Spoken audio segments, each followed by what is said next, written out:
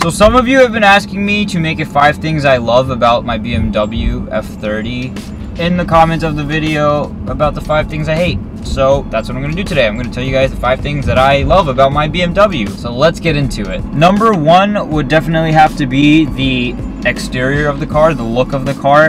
Um, I really love how this car looks. I love the exterior. I love the face. I love the back. I love the sides. I love all the design cues they have. I love how angry and aggressive and sporty the front looks. I love how wide and just like proper the back looks. And I really enjoy the fact that they made this 3 Series so wide because... Oh, that was my tripod. Because the last one was actually pretty you know slim. Like it wasn't as wide. Like this one is really wide. Like the person who sits next to me my dad says all the time the person who sits next to you is like they seem pretty far away for such a small car. And it being a 3 series you'd not expect that. But i really love the aggressive styling of the car. And even though i don't have the m sport or m tech package it looks even better with the m sport and the angel eyes. So if you guys are looking to get this car definitely get it with the angel eyes. It looks way better. I've said it before in my past video. Trust me just get the M Sport package. Try and get as many of the options that you can because you will not regret it. Now, number two definitely have to be the interior. I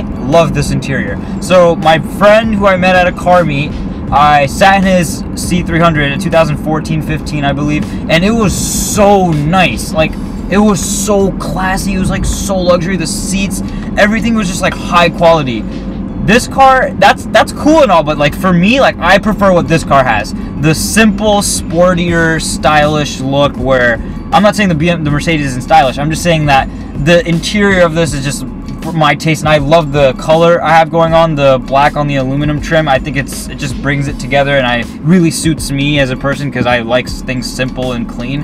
And I don't like anything flashy like that's why my car I was okay with it not having like park distance sensors and cameras and all that because then I have to deal with the holes in the bumpers. Like I like things that are just a little bit more simple and this is definitely a nice simple yet still luxurious design for an interior. Number three is gonna have to be the driving dynamics of this car. Now that's what BMW are for. They're all about become being the ultimate driving machine. And this one's definitely an ultimate driving machine. You can literally, it feels like the car kind of has personality disorder in a way because it's so computerized. You can throw it in comfort mode and have the comfortable ride with the smooth suspension and like soft steering and blast the AC and then you can throw it in eco mode where like it calms everything down makes everything bare minimum to save fuel economy and like you rev lower, and then you have sport mode. The car turns into like a beast, and everything's just a totally different ride. The suspension gets stiffer, the ride gets stiffer, the steering wheel gets heavier, and it, the car revs higher. It's just like a totally different car,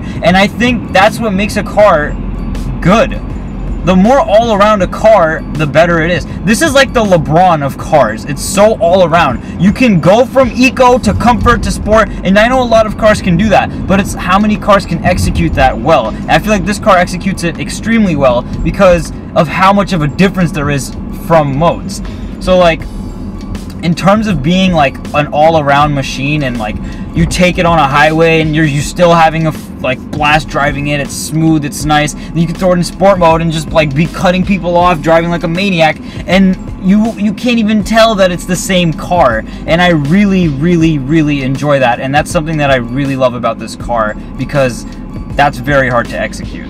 Number four even though this is kind of strange to say i have to say it the fuel consumption this is a BMW and it's good on gas. It's kind of like what like German cars that for the past couple of years haven't been so great on gas, especially like the last three series, the E90, like that car drank gas like nothing. I changed the spark plugs, I tried everything. I tried change the air filter of the cabin. I tried everything, and it was just bad on gas for the city. So the fact that this car is a four-cylinder, sure, that's probably a huge re- that is a huge reason why it's good on gas. But it's just like I drove all the way to Toronto and I I was right here. I filled right here on Woodhaven and Myrtle. If you guys are from New York, I filled at Woodhaven Avenue and Myrtle. I filled a full tank of gas, 93 octane, obviously, and I made it all the way to my uncle's house in Etobicoke, Toronto, Ontario, whatever it is. I don't even know Toronto, Canada that well, but I made it all the way there and I didn't stop once. I didn't have to stop for gas once. We stopped once for for food or snacks, and then that was it. But I made it all the way there without having to stop for gas. That's that's that says a lot. You know, it was an eco mode the whole time, cruise control all the way, and I really enjoyed it. It was a it was a great long drive. It was like one of my first long drives I've ever done by myself, and I just am very happy that it was in this car. And so yeah, so the fourth would definitely have to be the fuel consumption and how great this car is on gas. And then you can just throw it into sport mode, and it's just like terrible on gas. So I just like that a lot. And these aren't in any specific order, but so the fifth thing would definitely have to be the iDrive system, or just like the technology in my car. I really appreciate how easy and fun it is to use the iDrive system. I appreciate how you can get around it while driving. They made it easy to use. I love how there's buttons for specific things that makes everything faster. I feel like it's one of the best user interfaces for all cars, of all cars that I've used to this day. I love how I feel more connected to the car. I feel like I know everything that's going on with my car. I like how I can just go to vehicle info and see everything that's going on or what's wrong with my car. I like how the iDrive system has the owner's manual in the car. I like a lot of things. I like how I don't think I could even drive a car without this kind of system anymore because it's like it's just so much better and easier to use. Like the radio is like really cool design. I like how the telephone or Bluetooth connects together. I like the navigation system. I feel like this is like a really well all-round user interface for any driver. It's easy to use and I really like that. I like how I can just use it every day and not be worried about how to use it or or not getting used to it because it took me two minutes to get used to this thing. Like I really love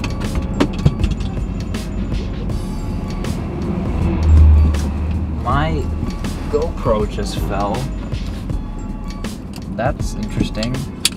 You spend $40 on a GoPro suction cup and it just falls. That's very interesting. Uh, it's back up there. Anyway. So yeah, the iDrive system. I'm sorry about that. The iDrive system. I like, I love it all. I love how the car works with it and I just don't, don't think I could ever use any other user interface, and that's something I really love about my car is the user interface of the iDrive. So, sorry guys for such a short video. Once again, I have a snowstorm coming tomorrow at God knows what time in New York. School's canceled, and I had to get some type of video out, so I just made this one because I didn't want to be outside in the freezing cold doing a DIY or doing something to my car. So, if you guys enjoyed this, leave a thumbs up. But that's it for today, guys. Thanks for watching. Peace out.